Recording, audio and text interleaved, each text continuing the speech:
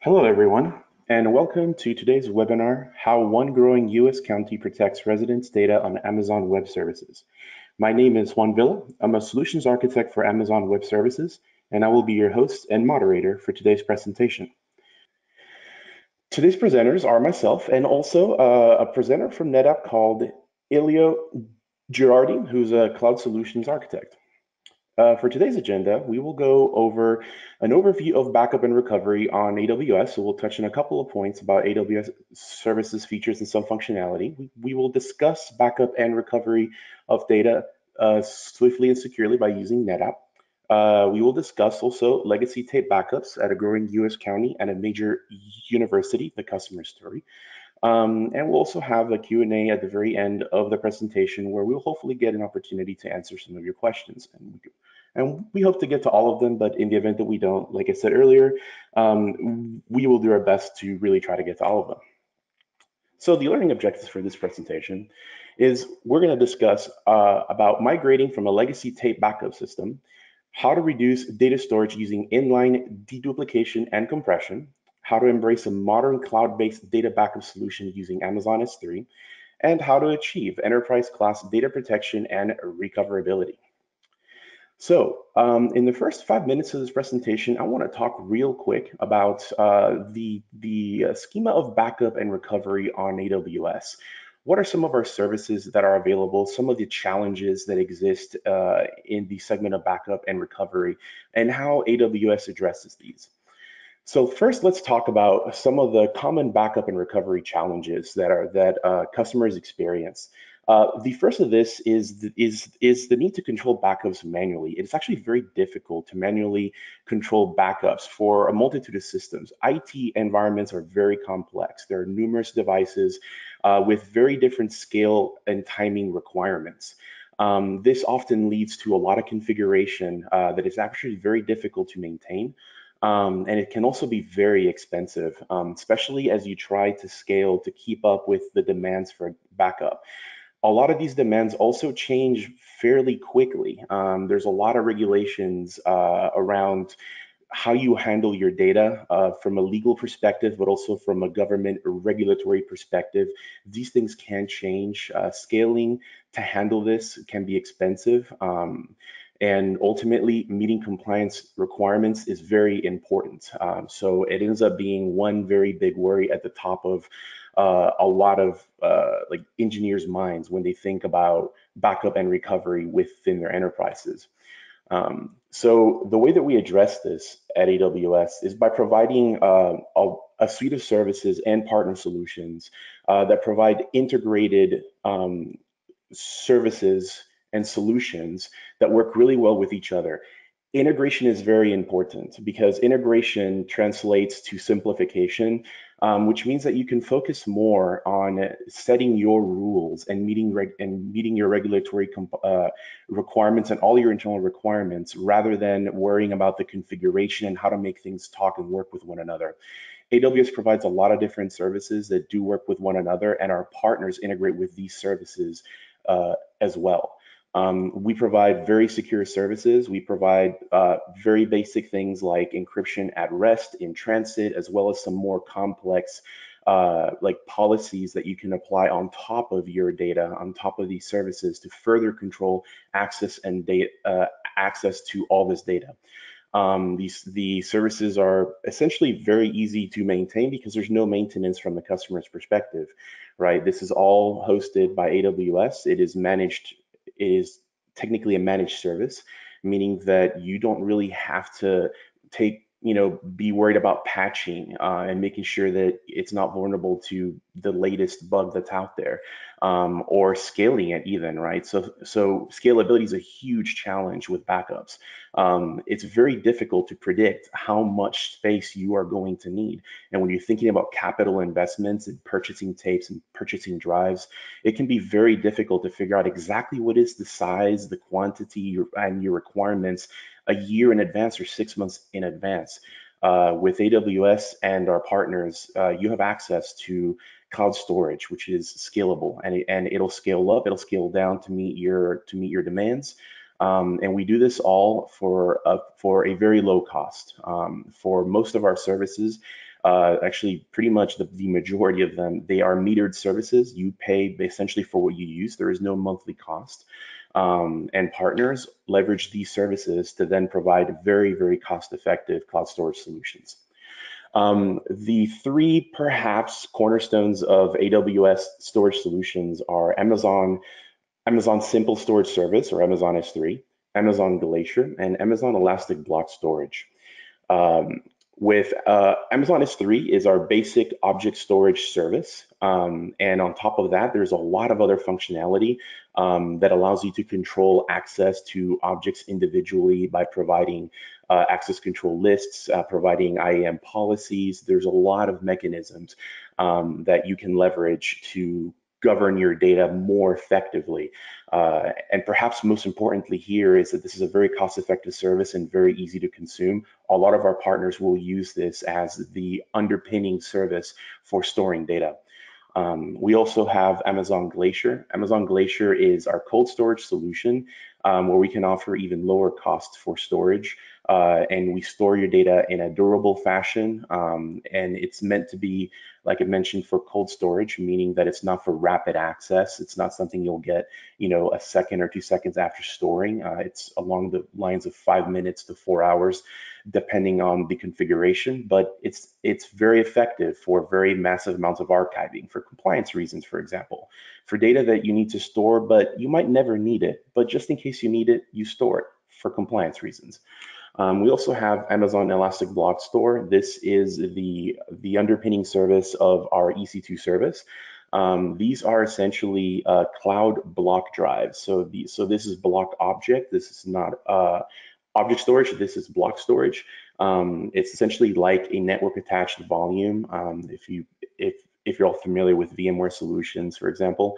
Um, this is a network attached volume that you can attach to EC2 instances. You can define the size that you need. You can actually resize the volumes as well, and they are stored in a highly available fashion um, in our data centers across multiple availability zones, actually. So Amazon S3, a little bit deeper here. Um, so it is a highly scalable object store. Um, you can access objects from anywhere around the world. Uh, you can even configure buckets to replicate uh, with other buckets around the world. So if you need even lower latency access uh, without using a CDN, you can actually copy objects around the world very, very easily. Um, all the data you store within one of our regions is replicated across multiple availability zones, and I'll talk a little bit about availability zones here shortly. Um, the, the data you store with S3 uh, is highly durable. Um, S3 is designed to provide 11 nines of, of uh, durability, so that's 99.99s after that. Um, you have a, like I mentioned earlier, uh, access to bucket policies and access control lists that allows you to govern how your data is accessed um, and how it's not accessed as well. And you can even put requirements around things needing to be encrypted, for example. Um, we do provide uh, server-side encryption through different schemes. Uh, you can provide your own key. We can generate a key uh, in the data center. There's a couple of different options. You could also encrypt it yourself before uploading it. Um, when uh, when thinking about storage with AWS, uh, most of our customers start with Amazon S3 um, when not leveraging a partner solution. Um, and Amazon S3 is really good for storing active data, data that is constantly being used, uh, that's being read, that's being written to. Um, so if you think about, for example, storing static assets for a web application, it's a very it's a very typical place for storing those kinds of things, or storing multimedia files that you're hosting on a website. those are the kind of use cases that that lend themselves very favorably to Amazon S3. Um, but as you move down this arrow here, that represents essentially how you trans how you go from from active data or what we call hot data all the way to cold storage. Somewhere in between both uh, active standard access and Glacier, we have um, an actual thing called a storage class within S3 called infrequent access. Um, so for any object within S3, you can actually change the storage class of the object uh, to something called infrequent access. And what that does is it allows you to store objects at a lower cost, but with a different billing mechanism. So with Amazon S3 standard, you pay for storage, and then you pay for S3 gets and list and other S3 operations, but they're not correlated to the size of the object. So you can do as many gets or puts of any different kinds uh, and sizes of files. Um, and the important thing is that you're paying per month, per gig for standard storage, but in infrequent access, you're paying less for storage, but you're paying more for access. So you're essentially trading the cost of access um, in order to get a lower cost of storage, which is really good when you're storing 100 gigs and, may, maybe you only need to access one gig a month. Um, so that makes infrequent access very, very valuable. It's also very fast because it's not cold storage. Um, and then the next step along the line is Glacier. Glacier is absolute cold storage. Um, and this could take anywhere between five to, to four hours to recover your data. You actually decide um, uh, how you want to retrieve that data. The quicker you retrieve it, it costs a little bit more, but the but the storage costs uh, are actually very very low. Um, so I, I, mentioned earlier an availability zone. An availability zone is a concept that we use uh, to essentially delineate between complete isolated environments within a region. Here is a map uh, of all of our different regions, and in fact, uh, since the day that this that that this webinar was authored, which was not very long ago, um, this has already changed again. Uh, so some of these new regions that are coming soon are already online and operational. Um, and we have some new regions that are not even shown here that are also coming soon. So that just shows the pace of innovation that that that uh, we have and how quickly we are expanding to provide better access around the world for for data and for and for applications. Um, a single availability zone um, provides uh, all of our services, and if you have multiple availability zones, you have redundancy and isolation. Multiple availability zones are built across different fault planes, across different uh, network infrastructure, power infrastructure. So we do our best to isolate these availability zones as much as possible within a single region. Uh, so when I mentioned S3, S3 is considered a region, uh, a region-wide service, meaning that everything you store in it is automatically replicated across all the availability zones within that area. Uh, which means you get absolute high availability within the area. But if you need geographic redundancy, you can also replicate between our regions. Uh, one thing that uh, we talk with our customers a lot about, uh, and one thing that we encourage our customers to really review closely is what we call the AWS shared responsibility model. In this model, we ask that our customers be in charge and be very attentive and very careful about their design of anything that is application layer, operating system layer, and up. Um, AWS provides a lot of building block services like EC2 for compute, S3 for storage, RDS for databases, and a whole lot of other services. We manage these services. We manage the security of our data center. We manage the security of our networks, the maintenance and management of these services. But anything a customer builds with these services falls within the uh, within the purview of the customer. And this is what we call the shared responsibility model. And it is very important to understand where this delineation is to make sure that you know that that that uh, nothing is dropped along the way, especially when dealing with regulatory compliance and security. Um, we also uh, at, at at AWS we have a lot of customers in a lot of different highly regulated uh, environments. For example, HIPAA being one of those really big ones, FedRAMP. Um, we have a lot of customers that need to meet uh, some very stringent regulatory requirements. AWS regions and a lot of our AWS services have already all been fully vetted and are compliant with a lot of these, uh, with with all these certifications and governance and compliance around the world. They have different titles and different names and different meanings, um, and this is just a very small sampling of them. We actually uh, have worked with and support a much larger number of these, but uh, with that, um, this really does conclude this quick introduction uh, to storage on AWS. Uh, at this point, I, I want to hand it over to Elio uh, from NetApp, who will take us through uh, some information on the NetApp solution and the customer story. Thanks, Juan. Let me just uh, control this. Okay, so uh, thanks everyone for attending. Uh, my name is Elio Girardi. I'm one of the cloud solution architects based out of New York City. Uh, I've been with NetApp uh, going on 13 years, um, and I am part of uh, the cloud business unit, which is a separate business unit within NetApp that focuses primarily on our cloud portfolio offerings. So, um, you know, if, you, if anyone on the call knows NetApp, right, we've we've traditionally been known as you know a hardware storage company. Uh, it's kind of what we've been doing for the last 25 years. But um, you know, we we've done a great job at providing easy ways for customers to manage data. And we decided early on not to compete against the large hyperscalers, you know, the AWSs of the world. Uh, but it, we, we decided to partner with them instead, right? Um, and, and a great portion of um, you know of the network that we found customers were really struggling with was really this backup and recovery and, and, and data that was backup and archive data that was sitting on primary storage. Uh, a lot of customers had um, you know these these huge tape library tape library environments. Um, they were looking for alternatives uh, you know, to replacing these tape environments. Um, and, and, NetApp basically stepped up and, and, and we introduced an offering uh, called the uh, NetApp uh, AltaVault. I'll talk about that uh, in the next in the upcoming slides.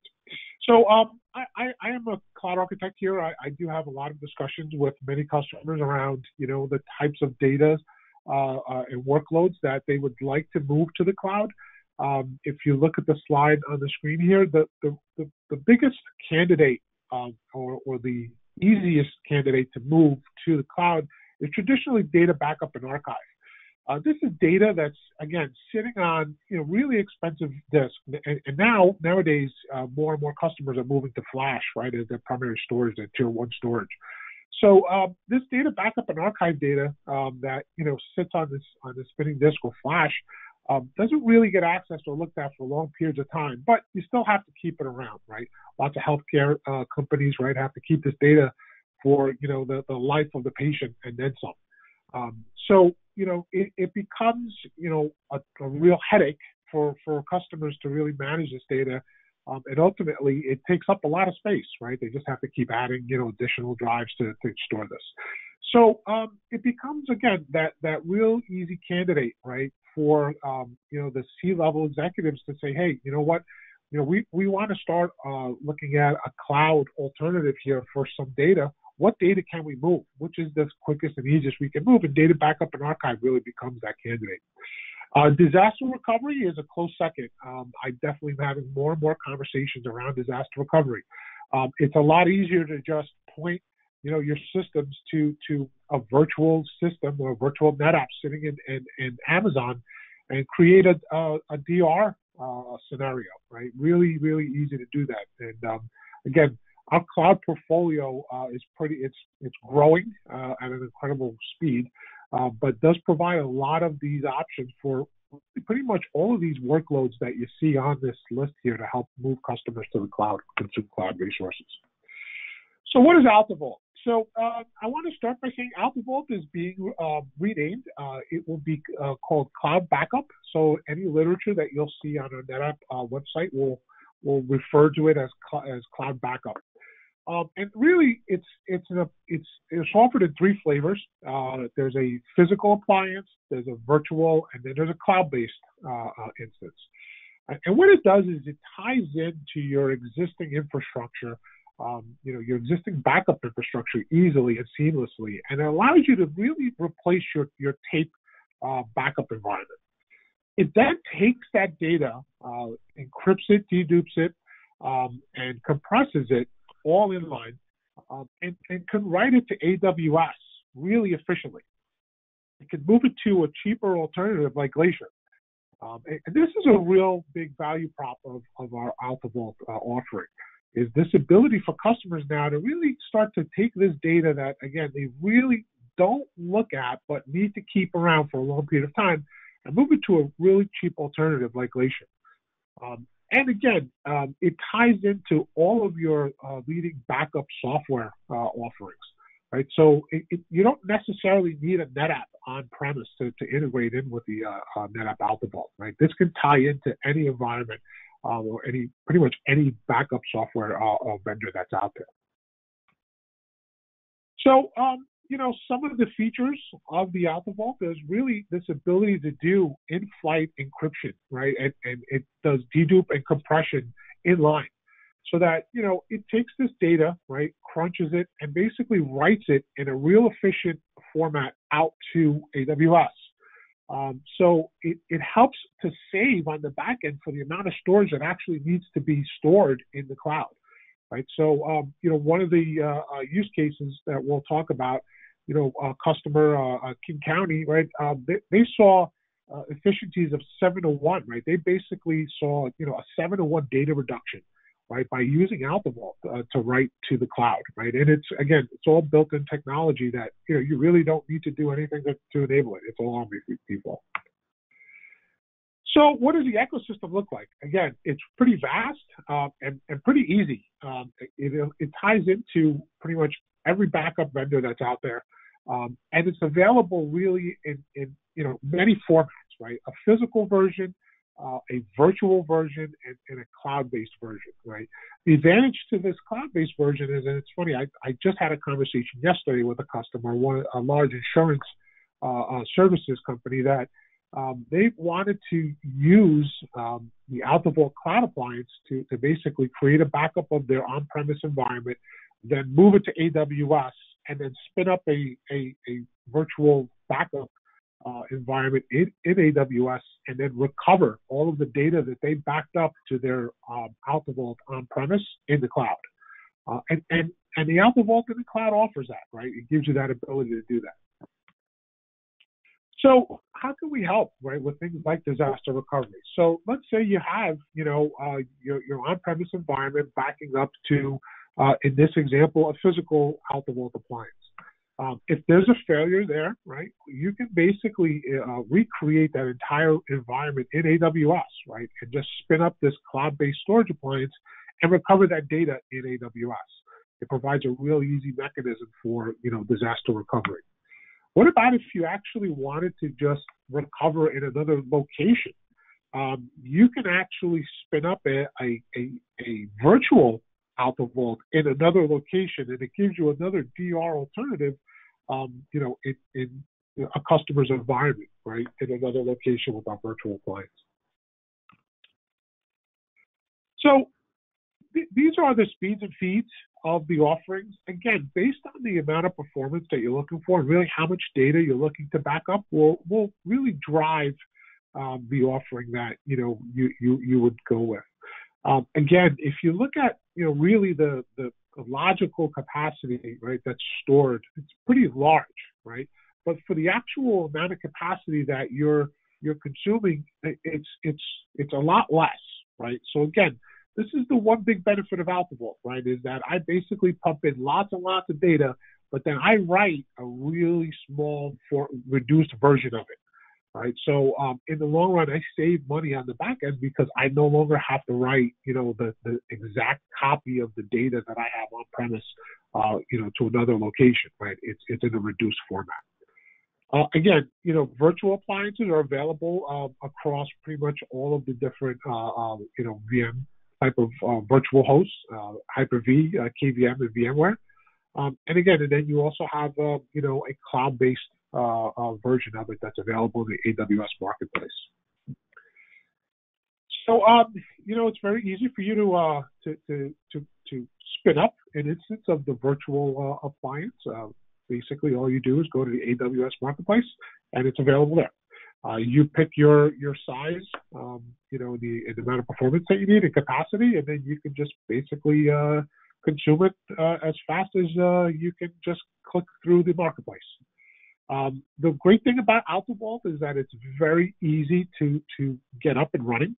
Um, again, you know, for for our customers, we basically uh, show them the ability to to create uh, or, or, or demo the the environment within you know 60 to 90 minutes. So it's pretty quick and easy. So I'll jump into now some uh, existing customers, right, and some of the use cases around uh, uh, cloud backup or AltaVault deploys. The first is King County. Um, so King County, uh, they're a large, they're one of the largest counties in, in Westchester, uh, in Washington State. Um, they serve over 2 million citizens. Um, they have about 13,000 employees. Um, you know, just like enterprise customers, right? They are a service provider to various departments and, and organizations, right, within the in the county. Um, and, and they did have a real need to, you know, digitize, right? So, you know, again, I see this happening more and more often. I, I just got an email yesterday from, you know, uh, Department of Motor Vehicles here in New York saying that they're no longer sending out, you know, uh, physical mailers for registrations for your vehicles. You now do that all online. So again, a lot, you know, th- this conforms to, what King County, right, is, is, wanted to to really help create. Uh, the other uh, case study is the University of Wollongong in, in Australia. So uh, they were founded in 1975.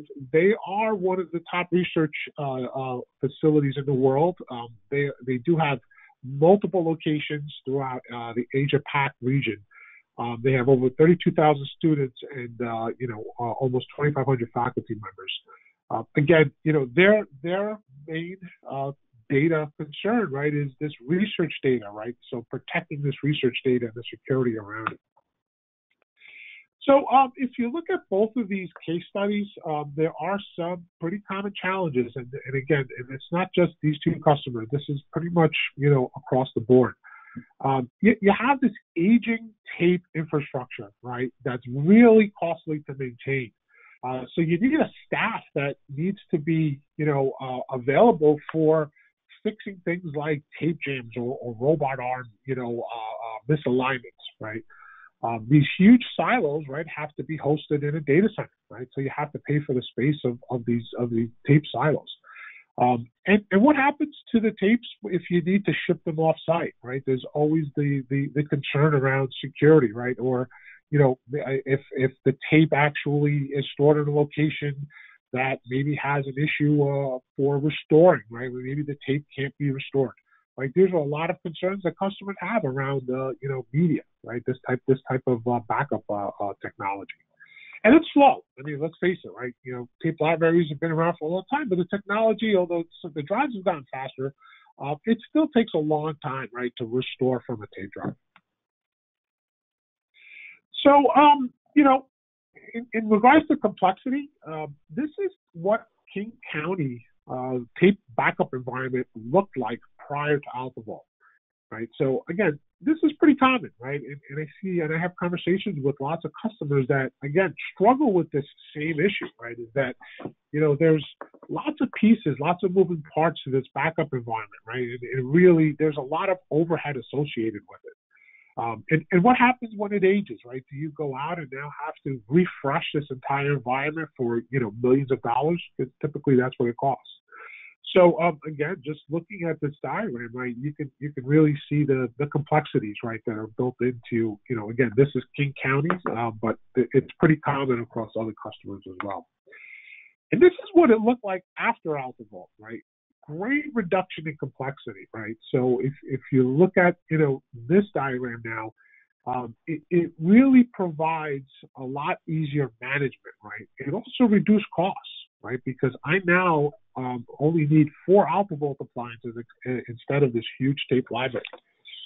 Um, what it also allows you to do now is to, um, so the University of Wollongong, um, when they went to AltaVault, it allowed them to begin testing DR scenarios uh, in, in, real time, right? So I base they basically take their AltaVaults, they back them up to the cloud, and then they spin up a cloud instance and test DR in AWS right? So it gives them a real time picture of, hey, what happens if a disaster actually does occur? Can we get this data back? What are we doing wrong? What do we need to change, right? So it really helps customers build, you know, a, a really good runbook, right, for, for their DR testing. Um, you know, it, it, it also replaces, again, lots of, um, you know, moving pieces here, right? So um, it easily integrated for King County into their existing Veeam backup uh, environment, right? So you know, the cool thing about the AltaVault, right, is it recognizes that, you know, it has the APIs that recognize the, the, the built-in, you know, backup applications, right, and how they work. There's a CIFS and, and, and NFS front end for the AltaVault, right, so it can easily uh, integrate in with these backup uh, vendors, right, to, to, to work with it seamlessly. So, um, you know, some of the numbers, right, um, again, you know, for King County, um, obviously reduce that complexity. If you look at those slides, you can you can see just by looking at the slides of, of, of how much easier it's now gotten for them to manage this environment. It simplified their disaster recovery, right? Again, you know, moving to this environment right now basically gives them a lot of alternatives, right, when it comes to disaster recovery. Um, it, it, also reduced the data, right, that they needed to write because of the AltaVault efficiency features uh, and security features, right? They basically were seeing seven to one data reductions, right? So, so some pretty good, you know, numbers, right, and, and, and, and really help them save in the long run. Uh, lots of customers ask, um, you know, how does this compare to, you know, a, a tape library, right? Because a tape library does – it, it can, you know, perform at high speeds for, you know, ingest. Um, and, and, these are some of the real life numbers, right? So, so these are numbers on our AltaVault 400, which is our lower end of our physical appliance. Um, and we saw speeds, you know, greater than uh, the uh, the ingest of a, of a tape library, right? So you can get, you know, all the speeds you need from our AltaVault. So it's a it's a perfect replacement for a tape library environment. So King County saved um, over a million dollars, right? Simply because they didn't have to go and refresh this aging tape uh, library infrastructure. Um, it, it, also it also helped them save over three hundred thousand annually, right? Because of you know they didn't need to purchase more tapes, right? And and then store those tapes and figure out you know uh, or recover from those tapes on on a daily on a uh, uh, continual basis just to ensure that they can recover those backups, right? So you know, the, the cost of management was greatly reduced, right? And it goes into those cost savings.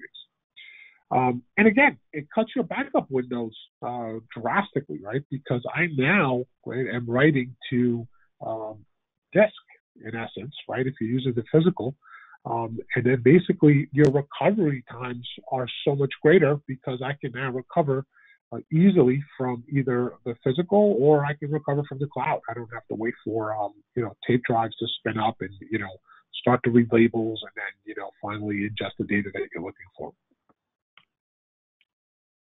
Uh, for the uh, University of Wollongong, again, um, you know the the retrieval times right went from hours to minutes. Right, uh, it's a it's a big advantage, right, for customers that you know are looking to have a, a cached copy of this data locally just for local uh, um, um, you know recoveries right? So we have lots of customers that ask us about you know can i do a uh, just a cache of 60 days of data just to ensure that you know I can recover the data if I have to you know in, in, a, in a quick easy format and, and, and you can. Um, security, right, was a big concern for them, right? They basically uh, were looking at, you know, how do I ensure that this research data, right, isn't compromised, right? And, you know, the AltaVault does AES 256 uh, uh, encryption, right? So that, you know, you, you can check that box off because it's basically all encrypted. The data is encrypted in flight, right? So there's no no concern around that. And again, um, just the reduction of the overall tapes, right, that you need to manage and the tape library, right, um, is is a, a quick TCO on AltaVault. Okay, it looks like uh, I may have lost my uh, ability to switch slides. Can you just um, click on the next slide? Thanks. So um, I've reached the end of uh, my presentation. Um, I hope that this was helpful in understanding um, you know, our cloud backup technology. Again, NetApp, um, you know, has multiple offerings in the cloud. Um, this is just one of them. We we have a pretty tight relationship with AWS, and if you look at the marketplace, you'll see lots of NetApp offerings in the AWS marketplace. All right, perfect. Thank you very much, Elio, for for sure. that really good presentation. Um, so we have now reached our Q&A section. Um, we have gotten a few questions already throughout the presentation. Thank you for sending those. Um, I've had an opportunity uh, to, to, to answer some of those already. If you have any additional questions, feel free to continue submitting them um, throughout our Q&A section, and we will do our best to try to get to them. Um, so to kick this off, I want to get started with a question for AWS here. Um, the question uh, around uh, what is this 10 gig connection uh, to AWS that was represented in one of the diagrams. Um, so I want to talk real quick about uh, the multiple mechanisms that customers can access AWS um, and connect with AWS services. AWS services um, are all publicly accessible on the internet. So the, the most common way of accessing them is just over the internet by leveraging your internet service provider's connection, right? So you can do this from, from your home or from your business. Um, and uh, the path that the packets and the connection takes over the over the complex network that is the internet um, is defined by internet service providers and carriers and a few other variables along the way. For for most customers, this is okay. Um, but but for some of our customers that have very advanced workloads where they need a consistent latency and they need even reduced cost, um, because traffic over the internet does cost. That's not free, unfortunately. Um, and uh, and also for reliability, um, a lot of our customers choose something called a, uh, AWS Direct Connect, um, which is a dedicated connection offering from AWS that allows customers to pick between a one gig or a 10 gig connection. Um, and with this one gig or 10 gig connection, they have dedicated connectivity to AWS and, and AWS services. So they can access services such as S3, for example, um, via this pipe as opposed to over the internet. Um, and that does translate to reduced costs um, for very large volume workloads because uh, traffic costs over direct connects is cheaper than traffic costs over the internet. Not to mention latency is lower and more predictable. Um, so, so this is a very typical uh, thing for a lot of our customers that are like enterprise customers, for example, that leverage AWS for cloud backup, but it is not a requirement. Um, and you can actually accomplish quite a bit without even using a direct connect. So it is by no means a requirement, but we do recommend it for our customers. Um, so hopefully that answered that question. Um, I uh, and with that, I want to move to another question here. Uh, I want to actually ask NetApp here a question. See if uh, uh, Elio can maybe answer this question. Um, so there's a question about uh, data reduction. Um, uh, the NetApp software, the NetApp offering offers this concept of deduplication and compression of data before it's sent to AWS. Um, can can you can you talk a little bit more about that and how that works and why that's a good thing and and how that translates to cost savings? Yeah, sure. So, um, so if you remember when you when you were talking about you know the the puts and the gets, right? The cost of puts and gets to write into AWS, there there is a, there is a fee for it. Um, so what Alta does, right, is it basically ingests the data. Now, again, your your, compre- your compression dedupe ratios will obviously increase as you write more and more data to it, right, through a, the span of you know a few weeks, right. Um, so so day one, you know, you may see some small reductions, but you know, come day you know 15 or so, um, I mean, we've had customers that have seen upwards of 30 to 1 compression ratios, right? So pretty impressive. Um, so once that data is dedupe compressed um, and encrypted, the, the, the AltaVault actually writes it in a what's called a slab format. So it writes it in these four meg slabs out into the cloud, right? So that it reduces, right, that sort of put get, you know, cost that you, you put for every object, right, that gets placed in S3. Um, so it, it has, again, a, a really good, efficient way of writing to the cloud. So it helps reduce costs in that manner what you know the, the amount of dedupe and compression ratios that you get will also help you save right on the back end that you for the amount of data that you actually need to store in the cloud. All right, excellent. Thank you so much. Um, and we have here another question that I think is sort of for AWS and for NetApp. I'm going to take a stab at it. NetApp, feel free to to jump in on this one. But the question is uh, whether customers need an AWS storage gateway to leverage the NetApp solution that you were talking about. Um, from the AWS perspective, um, the answer to this is no. Uh, AWS Storage Gateway is a completely separate offering by AWS that you're more than welcome to look at. Um, but the NetApp solution is a significantly more advanced and more capable uh, offering that does quite a bit more than Storage Gateway would do. We're talking about different tools for different workloads here. Um, but yeah, so I, I, wanted to mention that. Not sure if Elio, you have anything you want to add to that? Yeah, so this in essence becomes sort of your cloud gateway. And it's funny when you look at some of our slides, if you have a presentation from NetApp, um, you'll see that this cloud backup uh, device falls under our cloud gateway um, sort of section, right, that we have from our cloud portfolio standpoint. So Um, but you, are right, though. Um, you, you, it doesn't require any additional, um, you know, uh, uh, software or, or, or, pieces, right, to get this data to AWS. Excellent, excellent. Thank you. Um, and here we have another question. Um, so the next question is, what sort of reports does the AltaVault provide to show success or failure of backup jobs? Also, is there a report provided um, of what has been backed up and where it has been sent to in the cloud? Yeah, so so the AltaVault basically um, is an intelligent device in that it needs to sort of ma- maintain, um, you know, really uh, an idea, right, of the, the, metadata of where this this this backup data is being stored. So um, it has pretty extensive reporting capabilities, right? So it's built into the appliance. Um, you know, if if it's if a customer would like to see, or if anyone uh, who's ever asked me the question would like to see an example of those reports, um, we, we we do have. Um, you know, you can probably pull it off of um, our NetApp site, or you can get in touch with your local uh, NetApp resource, and they can help. Um, you know, provide you some of the, some of the example reports for that. Excellent, thank you. Um, and we have a couple more questions here coming in live for NetApp. Um, we have another question here. Um, and it's uh, does AltaVault connect with your existing NetApp storage appliances, or do you need an AltaVault appliance separate to this? Yeah, so um, so, so we, we, we had an integration and, and, we currently have an integration with our existing NetApp environment uh, via a protocol called SnapMirror.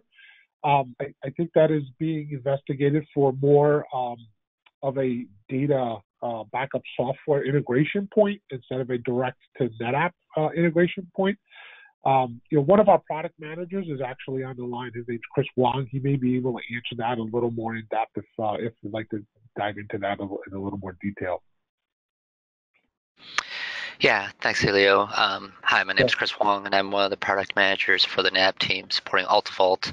Um, the SnapMirror protocol that Elio described is indeed sort of the data movement activity uh, protocol for uh, sending NetApp uh, snapshots uh, directly to AltaVault and through AltaVault then to uh, Amazon storage for long-term retention. Uh, we do support that today with existing ONTAP versions of software which come with our FAS controllers, and these are the file controllers that uh, are the sort of the bread and butter of NetApp's um, storage offerings. Um, and we support that today, uh, again, with the AltaVault appliance. Well, thanks, Excellent. Yeah, thank you, Chris. I appreciate that. Um, we've got another question here again for NetApp. Uh, the next question is, is it possible to deploy AltaVault only in Amazon Web Services without deploying anything within the data center? Absolutely. Uh, again, it just depends on the capacity, right? I mean, it really comes down to capacity requirements, um, and you know how fast you you you know, or you know, again, what your DR you know uh, recovery options are. Uh, but you absolutely can, right? Um, you know, the the appliance that runs in AWS is it's running the same code that runs on our on-premise gear, right? It's the same thing. All right, excellent. Yes. Uh, all right, and uh, we got, let's see, got a couple more questions coming in for NetApp. Um, here is another question for NetApp. Uh, when deploying AltaVault within the data center, is there a minimum number of days of backups that must be stored on-prem before sending data to AWS? Uh, so, um, so, so that was a slide that I didn't show. So there's actually two modes of, um, of deploying the AltaVault. There's a backup mode and then there's a, a, cold storage mode. So you can basically write the data immediately to the cloud if you wanted to do that, right? So um, there's an option to do that so that you don't need to store, um, you know, a, a backup copy on premise, right? There's a very small copy of it that remains on premise, and the rest gets immediately written to the cloud. Um, or you can go for the uh, sort of that backup option where um, you can store, you know, a certain amount of data depending on the the, the, the, the capacity that's required on premise, right? So you have a local cache uh, to recover that data quickly so that you don't have to go to the cloud to recover the data when you have to. So you're, you're given both options. Uh, it's flexible in that respect. Yeah, and this is Chris. If I could just maybe add an additional, you know, color around your uh, your answer here. So really uh, majority of users that uh, look at deploying AltaVault uh, in a data center will want to have some level of recoverability of data that say has been you know recently uh, been protected uh, to the AltaVault and out to AWS. So the, that cache that's available on AltaVault plans is there to serve as that uh, near store a recovery point. And all the data that AltaVault's ever received is always available in Amazon uh, for recovery. We replicate all the data that uh, AltaVault receives to Amazon. So there's always the ability to recover this, even in the event of an, an outage of the AltaVault. We can again recover to another AltaVault on-premise or within uh, EC2 instance uh, deployed via the AltaVault uh, compute instance in the marketplace, Amazon Marketplace. Thanks, Chris. Excellent. Thanks, Chris. And uh, here we have another question again for NetApp. Um, so the next question is, what is the conversion process from on-site tape and tape storage solutions to cloud storage? Yeah. So, um, well, so, so, you know, what, one method, right, is to re- reread your tapes, right, and then write it to the AltaVault. Um, you know, there's also a mechanism, right, that can actually get this data, right, where, um, you know, the AltaVault uh, supports um, uh, Snowball, right? If it's, you know, if it's a question on actually how do you kind of get the data, right, to the cloud, large amounts of it, um, does support Snowball if it's something that, you know, you wonder on how to get the data to AWS. And actually, that may that may um, answer, I think, the next question, Juan that uh, what just popped up. Perfect. Yes, yes. And uh, and the next question that he's referring to is uh, when deploying AltaVault in uh, yeah. only in AWS, will backup software be, be responsible for sending the backup data over the WAN to to AWS? So so yeah, or you can snowball it if it's an easier mechanism. So this is Chris again. Um, let's let me uh, provide a little bit of clarity here. So the the backup software is responsible for managing the data as sent to AltaVault. AltaVault is responsible for then obviously sending that data over to Amazon Web Services via your WAN link. Uh, the Snowball functionality that we're talking about here is Amazon Snowball offering, which provides the capability to basically provide a disk offloaded uh, storage appliance that you bring on-prem and you basically load it up with a bunch of data that you're going to store in Amazon's object storage. You ship that back to Amazon, and then Amazon loads that into your object storage uh, target, your bucket, and AltaVault will then go and then connect to that bucket. Uh, more or less preventing you from having to move that large amount of data across the WAN.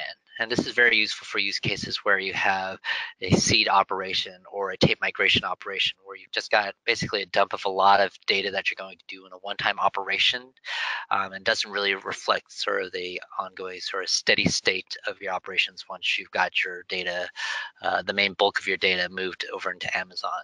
So Snowball is a very good option if you say are WAN constrained or you have a uh, WAN link which is you know not um, as reliable uh, for moving again large amounts of data. And that provides the capability for again to move those workloads across, uh, so you can reach that steady state more quickly and more reliably.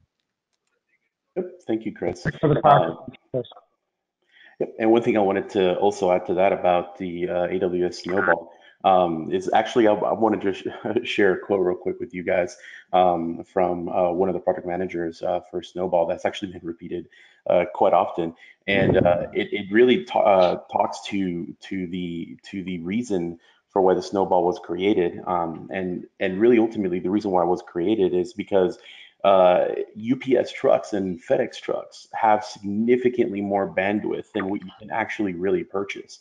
Um, when you think about these devices uh, called snowballs that we can ship to customers, these devices can hold 50 terabytes, can hold 80 terabytes um, of capacity on them, and uh, you can connect them locally, load them with data, and then send them out to AWS. You can order one or more of them. Um, and when you send them back to us, we then offload that into an S3 bucket. So you've essentially skipped the part of traversing the internet or setting up a direct connect link and it's great, like you know Chris mentioned, uh, for that initial seed uh, of data. And then once you've got uh, most of your data already available, then you can essentially keep it up to date, in sync, and replicated from that point forward by just leveraging your internet service provider's uh, connectivity. So right. there's also, hey Juan, just yeah. real quick, I, I, you know, when you talk backup environment, it's usually petabytes, right? So lots of customers like, okay, well, Snowball's great, it does terabytes. How do I move petabytes? Well, AWS has Snow Snowmobile, right, which can actually move petabytes of data, right, in, into into uh, AWS, right. So you guys have an offering for that as well. Yep, and those are really cool because those are actually trucks. They are legit like 18 wheelers uh, with security and everything. It's actually really neat. Um, if you if anyone's ever been to reInvent, uh, there's actually a, a, truck parked there just as a showcase. It's very impressive. It's a great way to move immense amounts of data in a very short period of time without having to wait for that data to be copied over the internet. Um, so awesome. All right. Um, we got another question here uh, for NetApp, and the question is, does the local cache get stored on-premise using AltaVault or SnapMirror use some method of compression or deduplication to reduce storage footprint? So, um, yeah, yeah, I mean, it, it basically uses compression dedupe, right, as a as a default, right? So you're saving uh, your that, that storage footprint locally as well. Yes. Perfect. All right. Um, see if we've got any other questions here. I don't think we have very many other questions. Um, let's see. All right, let's go some of the earlier ones. Um, so can you share with us like what is a like a typical use case, like maybe one or two use case when a customer should use the AltaVault cloud appliance? Well, again, um, I, I, think really, you know, if you saw those use cases, um, replacing a tape library, right? I think that becomes, um, you know, one one of the um, easier use cases. Um, but again, also if you're just looking to really start you know your cloud journey, right? There are a lot of companies out there, believe it or not, that still haven't you know started to use the cloud in any any format yet. So um, they're still struggling with how do I you know categorize and how do how do I basically um, look at the type of data? What type of data do I want to move to the cloud? Which which makes sense and what you know what doesn't? Um, you know, the AltaVault gives them a real easy, you know, choice, right? Because it's this backup and archive data that becomes an easy candidate, right, to move to the cloud. So I think those are probably the top two that I've seen, at least in, in, in the conversations that I've had. Excellent, excellent. And uh, and why would someone use AltaVault over, say, a competing product or solution? Well, again, um, you know, you, you, you have NetApp, right? It's it's backed by NetApp, right? And again, you know, we we've we've been in the business for 25 years, and our sweet spot has always been data management, right? So, um, you know, the ability to, like Chris was saying, integrate, you know, with our existing on-premise NetApp system, uh, as well as uh, this easy ability to integrate with, you know, pretty much any vendor, any software vendor out there.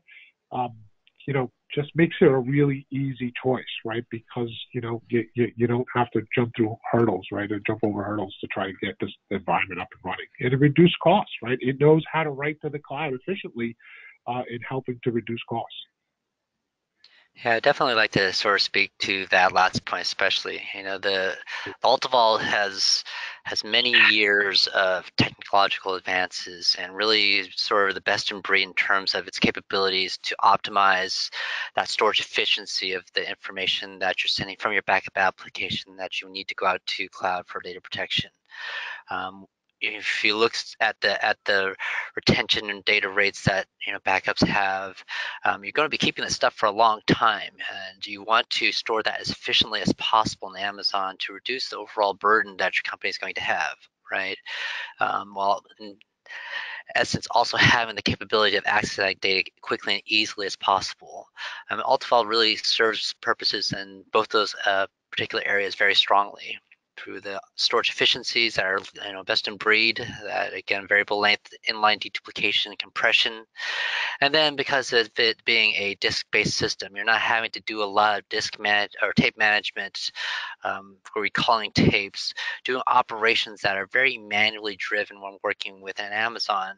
You're actually going to be automating all those operations and saving your IT infrastructure team a lot of time doing those data management operations. Oh, excellent. Um, and speaking to the years of experience, right? This is something that Andy Jassy from AWS really likes to say, and there's and there's a tremendous amount of truth behind it. Um, and it's the fact that there is no compression algorithm for experience. Um, the number of years, the experience, the iterations, so working with customers on and off, the scale at which NetApp operates, at which AWS operates, um, is is a very rare scale for others to operate in. Um, all these years of experience have truly helped us build very, very mature products. And we continue to innovate, right? Uh, neither of us really stop. Um, one thing we say a lot uh, is that we really don't stop until until we until we are short of, of, of perfection. It's hard to achieve, but we try every day. Um, so thank you all very much. Uh, let's move on. Actually, yep. Um, so for next steps, um, uh, please do check out uh, NetApp's offering, the AltaVault offering, which will soon be renamed, as mentioned earlier, um, on aws.amazon.com slash marketplace. Um, you can also learn a lot more about NetApp at NetApp's own website at netapp.com and also more about uh, the integration with AWS at netapp.com slash AWS. Um, and ultimately, if you've never tried AWS, I encourage you to sign up for a free account. Um, you can try AWS for free uh, for one year. We have something uh, which is essentially what we call the free period um, uh, or free tier within within AWS for one year, uh, where you can access uh, a great number of services um, just to check it out um, and get to experience it and learn about it yourself. Um, and so yeah, with that, um, I want to thank everyone for attending today's webinar and thank you for uh, the excellent questions as well.